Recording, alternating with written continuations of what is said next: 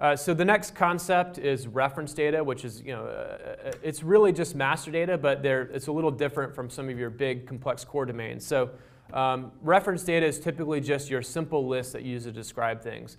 And most of your operational applications will already have uh, reference data embedded in them. Um, you know, the, the simple example, the list of languages I just used. Um, your CRM and ERP applications both might have their own lists of languages that, that obviously have overlap. They probably both have the definition for uh, English as a language, but they might use different keys uh, to, to define those languages, different descriptions.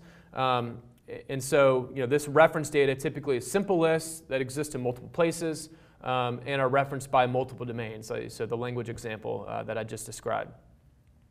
So the opportunity with reference data management is to centralize and standardize these different reference lists that the organization uses uh, throughout the enterprise.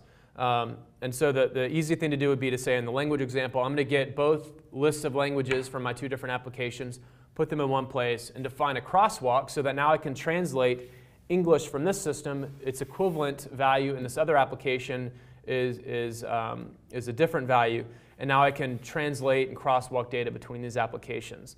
Uh, and, and reference data is, is typically a prerequisite for your larger, more complex domains. Um, so you can see here that there's a number of different reference data examples. Um, there are some organizations that will, will start off with MDM with just trying to tackle reference data. Uh, we have customers that have had uh, quite literally hundreds of uh, reference data lists um, that were being managed in different applications. They had different spreadsheets and utility tables uh, uh, scattered about that tried to consolidate and make sense of them. And so for those organizations, it was, it was worthwhile just to get an MDM hub in place and just tackle reference data as an initial step. And then from there, they could start to tackle other key domains.